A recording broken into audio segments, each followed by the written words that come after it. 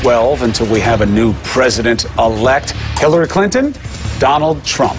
Both say the other one sucks. Basically, really, when it comes to character, they both say they're the worst people in the world about when they're talking about their opposition. So, character is going to matter. Uh, in fact, it probably matters as much as anything when voters actually pull that curtain back and do what they're going to do. Let's bring in national spokesperson for MoveOn.org and Hillary Clinton supporter Karine Jean Pierre and CNN political commentator and former Donald Trump campaign manager Corey Lewandowski. Uh, this has been the battleground since jump on this. Uh, with Donald Trump, is Billy Bush tape, these allegations from these women coming forward have kind of put a head on his character appraisal. He just spoke about it moments ago. Let's play his sound now.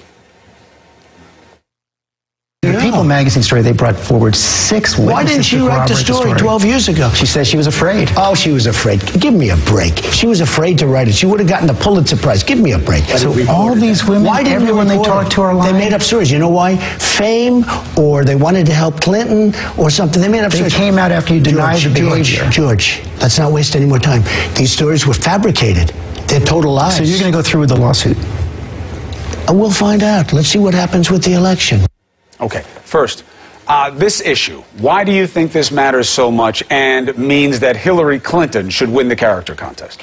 Well, look, I, I want to go back to, for just for a second, about the emails, right? There were the, the emails. The thing that Hillary Clinton was able to do is she apologized for the emails. She said she made a mistake, and she, she moved on. It's come up a couple times, and the drip, drip, drip certainly has hurt her. But on the other end, speak to your question, Donald Trump refuses to apologize, right? He Yeah, bragged. If but you he bragged- apologize about the emails, you are um, revealing or exposing yourself, making yourself vulnerable Right. to impropriety, not illegality and sexual But assault. That's a much thing. bigger The- give. The thing about it is he bragged about not apologizing, even to his wife on the debate stage. he says it's not true. But still, it's what, what it did, right? What it, it had to embarrass her to some degree for it to be out there, right? And not only that, he talked about changing the libel laws, right? So that he can sue journalists for writing bad stories about him, which, by the way, is an, is an attack on First Amendment right.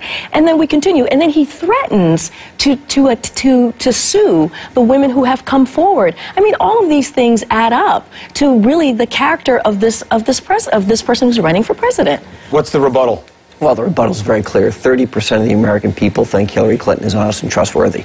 Those are unequivocal numbers. We've never seen that. This is a historic low for any candidate running for office. We've seen time and time again, I want my emails out. When they actually come out, then they say, well, the Russians hacked them. And they don't want to say they're true. They don't want to say they're not true. They just don't want to talk about them. You know, she had the opportunity to put these emails out. Her own team talked about her as the emailer in chief, the concerns about this, the concerns about the private email system. Hillary Clinton is very simple.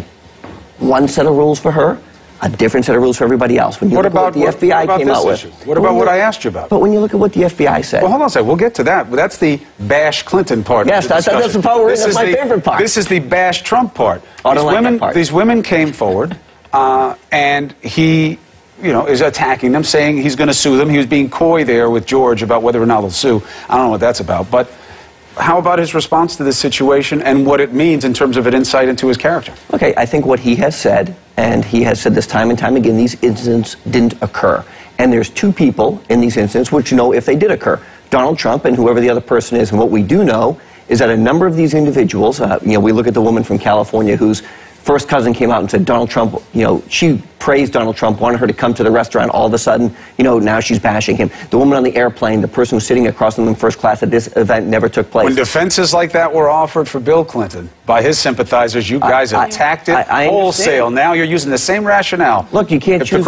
You, you can't choose who witnesses what they see. And you know what we saw is this individual who's on the airplane who witnessed this incident not taking place was chastised by the media because the guy's had a tough background.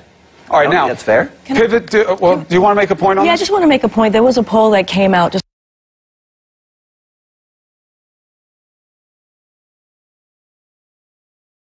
a couple of days ago that talked about the um, Donald Trump's um, how he responded right to these allegations, and 59% of the voters said they didn't like how he responded. And this is not saying that the allegations are true or not, just his response, just the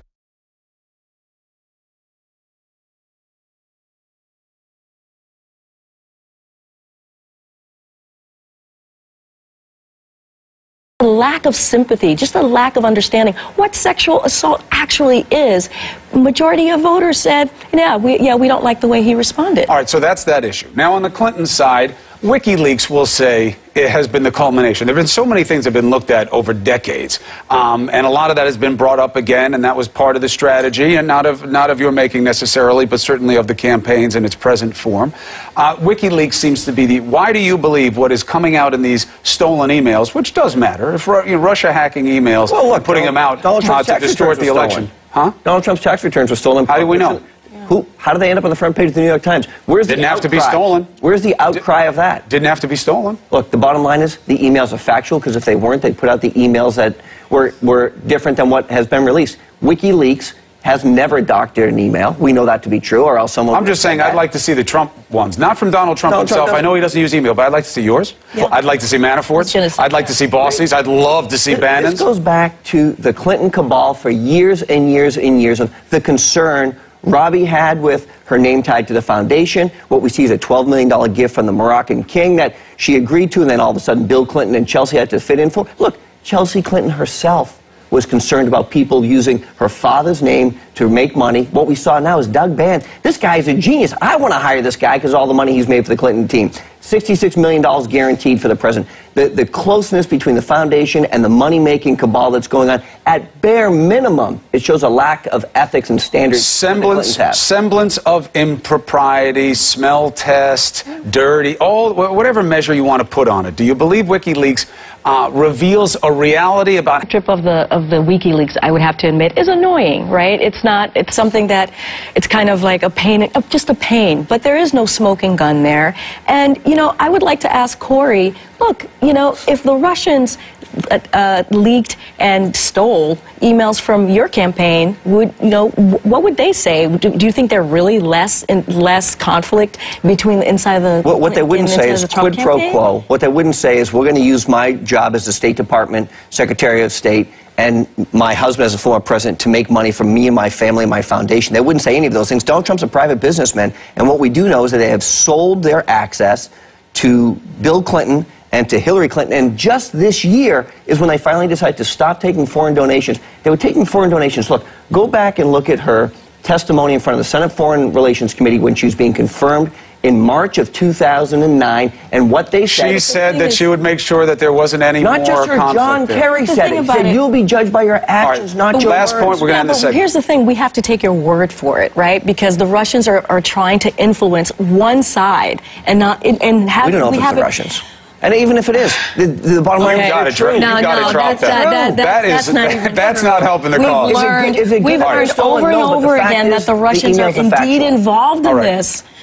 Look, I don't think they should I mean, be. we've learned Let's from con- the continue this. They- They're We'll factual. continue this in the break, Karine. Corey, thank you very much. Thank you. All right, Thank you. what do you think about this? Tweet us at New Day or post your comment on Facebook.com slash New Day. Alisyn. We have a big update for you on the story of the National Guard members who are being forced to pay back their reenlistment bonuses. Our military expert brings us the latest on this story next.